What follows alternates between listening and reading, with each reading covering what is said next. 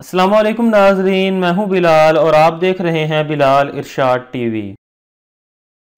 ناظرین کرام، ترقی کرتی اس دنیا کے جس دور میں ہم اپنی زندگی بسر کر رہے ہیں، یہ ماضی کے ادوار سے کافی آرام دہ اور تمام تر سہولیات سے بھرپور تو نظر آتی ہے، لیکن اس کے ساتھ ساتھ ہماری اس خوشی کا باعث بھی بنتی ہے کہ ہم کتنے اچھے اور کتنی ایڈوانس ٹیکنالوجی کے زمانے میں پیدا ہوئے ہیں۔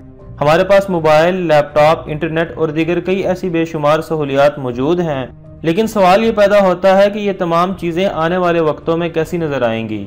ہماری دنیا دو ہزار ستر میں کیسی نظر آئے گی؟ تو آئیے آپ کو سائنسدانوں کے اندازے کے مطابق مستقبل کی دنیا کی سیر کرواتے ہیں۔ لیکن مستقبل کی اس دنیا میں جانے سے قبل تمام نئے آنے والے ناظرین سے گزارش ہے کہ نیچے دیے گئے سبسکرائب کے بٹن کو دبا کر ساتھ موجود گھنٹی کے بٹن کو بھی دبا دیں۔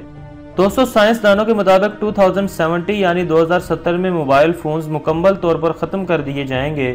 اور اس کی جگہ آپ کی آنکھ میں ایک کنٹیکٹ لینز لگ جائے گا، جسے آپ اپنے دماغ سے کنٹرول کریں گے۔ یعنی جس طرح آپ اپنے دماغ میں سوچیں گے اور اسے کمانڈ دیں گے، یہ ویسے ہی کام کرے گا۔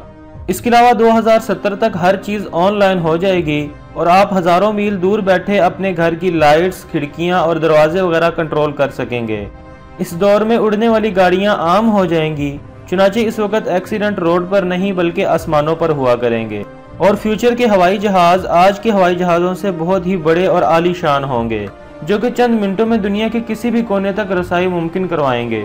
اس کے علاوہ دوستوں مستقبل کے درجہ حرارت میں کافی اضافہ ہو جائے گا، جس وجہ سے ہمیں الٹرا وائلٹ ریز سے بچنا ہوگا، ورنہ ہمیں سکن کینسر ہو جائے گا۔ لیکن اس وقت تک کینسر جیسی بیماریوں پر کافی حد تک کنٹرول کر لیا جائے گا اور تقریباً اسی سال کی عمر تک کوئی بھی کینسر کی وجہ سے نہیں مرے گا۔ چنانچہ ایک عام انسان کی عمر سو سال تک ممکن ہو جائے گی اور مستقبل میں ستر فیصد نوکریاں ختم ہو جائیں گی کیونکہ انسانوں کی جگہ ریبوٹ لے لیں گے اور ہر قسم کی فیکٹری مل اور کمپنی میں ریبوٹس کام کرنا شروع کر دیں گے۔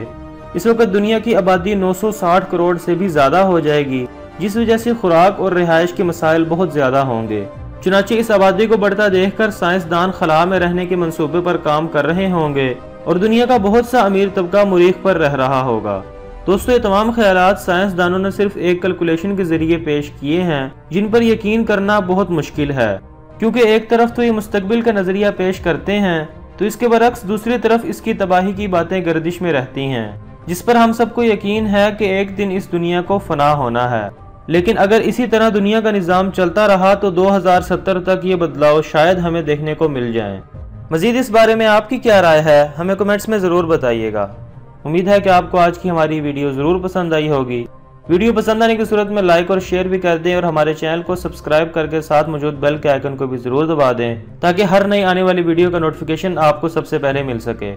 ایک نئے ٹاپک کے ساتھ دوبارہ حاضر ہوتا ہوں۔ تب تک کے لیے اجازت دیجیے اللہ حافظ۔